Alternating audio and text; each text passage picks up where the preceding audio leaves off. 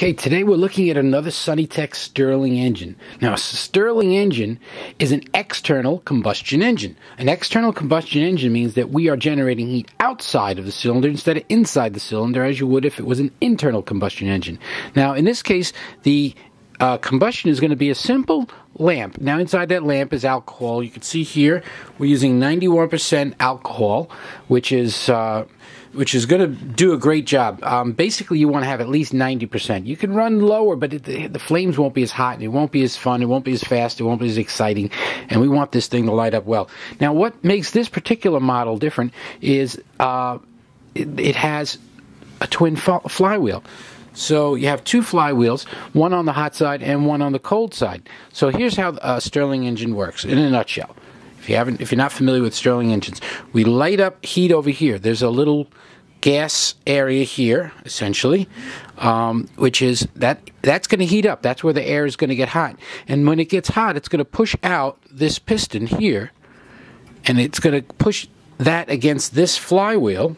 And as that flywheel spins, it's going to transfer now to because there's a there's a chamber in between these two here, and that's going to push the hot air out and it's going to exchange it with cold air that's going to be pushed by this second flywheel, pushing it back in. So essentially, hot air goes out, goes over here, gets exchanged with cold air. Cold air then forces it back, and then we have essentially a full cycle.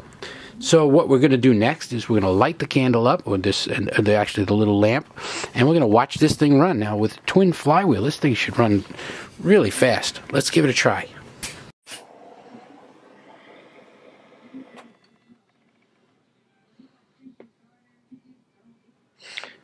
Okay, so we just lit the flame, and now we should watch the uh, heat build up inside of the first uh, the first piston, and in a few seconds it'll actually have enough heat to move on its own. But generally, I like to give it a little nudge.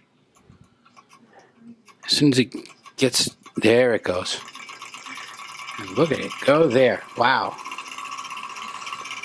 This is a nice smooth transfer of power. You see the piston running over here. see it's beautiful, beautifully run, and it's it's very stable. Uh, it's starting to vibrate, as you can see. If I don't touch that, uh, it's going to move a little bit, which is kind of common for this sort of thing.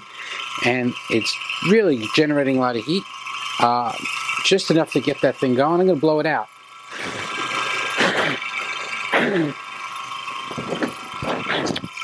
There we go.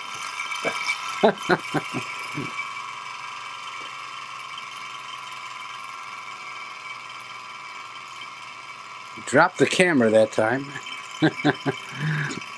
but there it goes.